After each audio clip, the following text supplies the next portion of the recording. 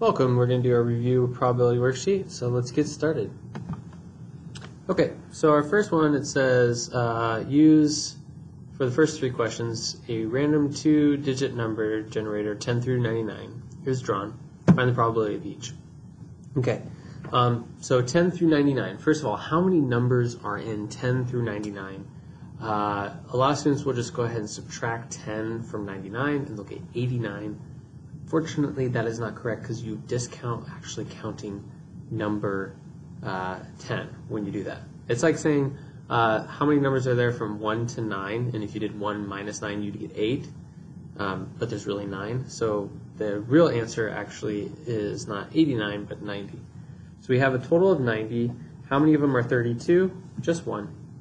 Okay Probably an odd number, uh, well, there's 90 numbers. And probably of an odd is going to be, well, we start on an even, we end on an odd, so it's going to be half of, of them, so that's 45. And then a multiple of 5. Okay, so it starts out, well, we still have 90 is our total now. So we have, um, let's see, 10, 15, 20, 25, 30, 35, 40, 45, 50, 55, 60, 65, 70, 75, 80, 85, 90, and 95. So sometimes writing that, that, that uh, list out will help. So 1, 2, 3, 4, 5, 6, 7, 8, 9, 10, 11, 12, 13, 14, 15, 16, 17, 18.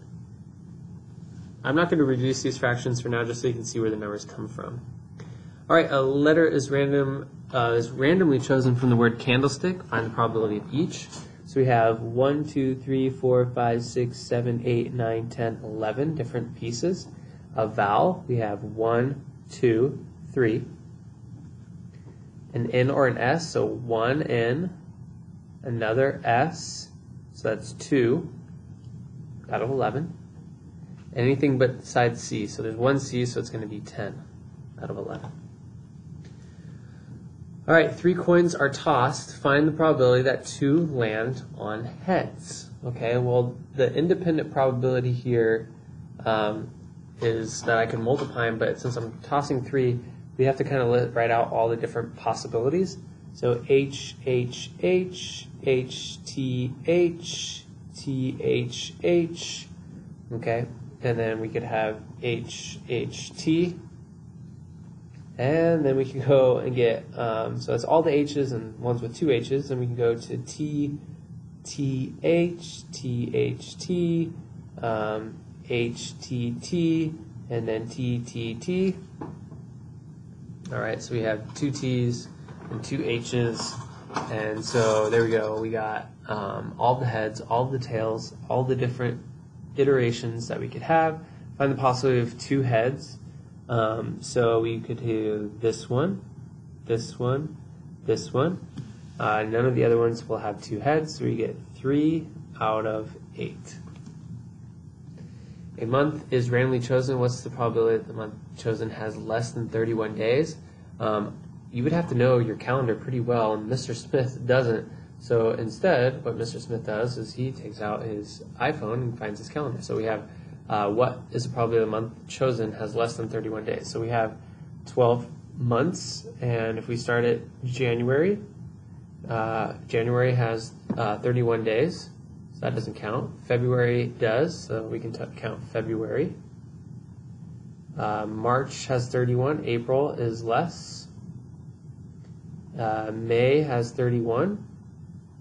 Oh, can't count May, we have one less. June has 30, so we can count June. July is 31, August 31, September I think is less, so September. October is 31, November, and I know December is 31, so that's 1, 2, 3, 4, 5. What's the probability of drawing a 9 or diamond from a standard deck of cards? Well, we have 13 diamonds, and we have 4 nines, but we have to double count. So we have 14 diamonds but then we have three leftover nines. So that's a total of 16 out of 52. A credit card places a three-digit security code on the back. What is the probability that a code starts with the number 7? Well, we have 10 different digits that it could have, it's giving a three digit, just trying to trick us. But it's a probability the code starts with a seven. Well, I mean, that's pretty basic. We could just take a look at the first number. We have 10 options. How many are seven? One out of 10. Okay, we could reduce it down to that. Uh, two dice are rolled was a probability of not getting doubles. Okay, so we'd have to look at our sample space of two dices being rolled. Um, but we know that the total sum of dices being rolled is 36 outcomes. Uh, the doubles would be 1 1, 2 2, 3 3, 4 4, 5 5, and 6 6. We have six pairs of doubles. So the probability of not getting doubles would be uh, the opposite of that. So 30 out of 36. Michaela has the following songs in her iPod 14 Taylor Swift, 16 Meghan Trainor, 17 Katy Perry songs. What is the probability that the next song that is played is not Katy Perry? Uh, well, we'd have to add up all the songs, so that's going to be 14 plus 16 plus 17, and that gives us 47 total songs. Um, not Taylor Swift, or sorry, not Katy Perry, so that would be Taylor Swift and Meghan Trainor, which would be 30. So 30 out of 47. A dice is rolled, then a coin is tossed. What's the probability of getting a 5 and then a heads? We have two events. Uh, so getting a 5 is 1 out of 6, and getting a tails is 1 half. So we're going to get 1 out of 12. Coins tossed and a random number is chosen. What's the probability of getting heads? 1 out of 2. Then a number less than 4. So that'd be 1, 2, 3 and it's 1 through 10, so we're going to go out of 10 options, we have 3, and we're going to get 3 over 20.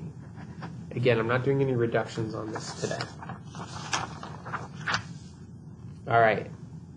Natalie guessed on the test four true or false questions on her math quiz. What is the probability she got all four questions correct?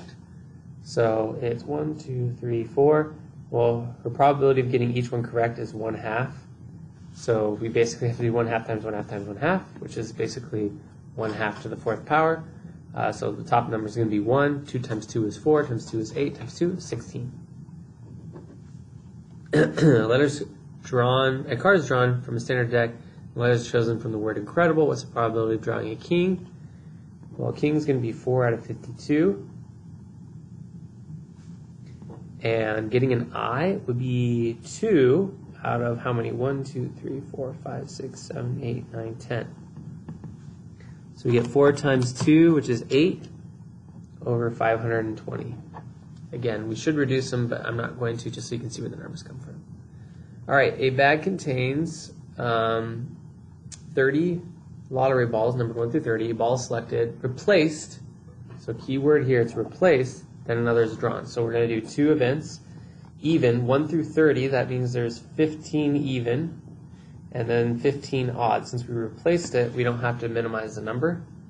So we're going to get 900 over 225. Probability of getting a 7, that's going to be 1 out of 30. And then a number greater than 16, so that'd be 17, 18, so on and so forth. Uh, so there's 14 numbers. So that's going to be 14 over 900 a multiple of 5. Okay, so 5, so that's going to be 5, 10, uh, 15, 20, 25, 30. So that's 1, 2, 3, 4, 5, 6 out of 30 possible uh, lottery balls. And prime numbers, so we need to know all of our prime numbers up to 30. Uh, and this is when I go ahead and I wouldn't give you a question like this on the test but this is where I would be like, yo, what's all the prime uh, numbers? You know, can you give me a list of that? So I just go ahead and I just Google it real quick. And um, yeah, there it is. Look at a list of the prime numbers. So we got 2, 3, 5, 7, 11, 13, 17, 19, 23, 29. Okay, so we have 2, 3, 5, 7, 11, 13, 17, 19, 23, and 29. That's 1, 2, 3, 4, 5, 6, 7, 8, 9, 10. 10 out of 30. Multiply it, you get 60 out of 900. Probability of two even numbers. Um, that's going to be 15 out of 30 times 15 out of 30. That's 225 out of uh, 900. This next set, we are not doing replacement. So it's the same thing, but we're not replacing. So the second one's always going to be less. So a two-digit number and then 4. Well, the two-digit numbers are going to be 10 through 30, so everything but 9. So we're going to have basically 21 out of 30. And then the 4 is going to be 1. That's definitely not a two-digit number, but we only have 29. So multiply those, we get 21 over 30 times 29, which is going to be 870. 19, that's going to be 1 out of 30. And a multiple of 4, we got?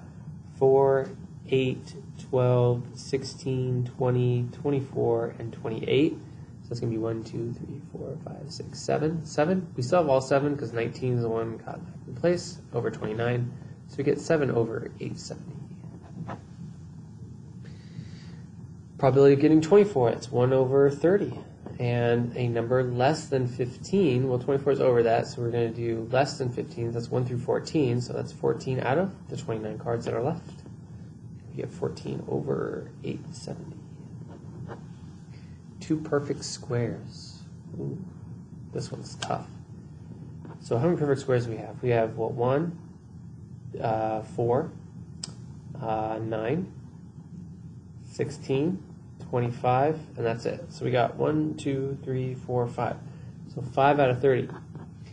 And then we remove one of the perfect squares, so we don't have 5 anymore, now we have 4. So we are going to get 20 over 87. Football team has 5 freshmen, 8 sophomores, 11 juniors, 16 seniors. If two are chosen at random to participate in a coin toss, what's the probability that both players chosen will be seniors? Two different events. Uh, we have 5 plus 8 plus 11 plus 16. 5 plus 8 plus 11 plus 16 gives us a total of 40 people. And we have 16 seniors. But once I choose that senior, um, I'm not going to have that senior anymore to choose from. So 39 out of 15. And we're going to get 16 times 15, which is 240. And 40 times 39, which is 1560. Okay. Uh, Ryan's mom randomly chooses two days each week for Ryan to do chores. What's probably that she picks Saturday and Sunday? Uh, well, she has one day out of seven is Saturday, and uh, one day out of now six days available is Sunday. And so we multiply that one times seven times six, and that is 42, which would be a total bummer. All right, that is it. See ya.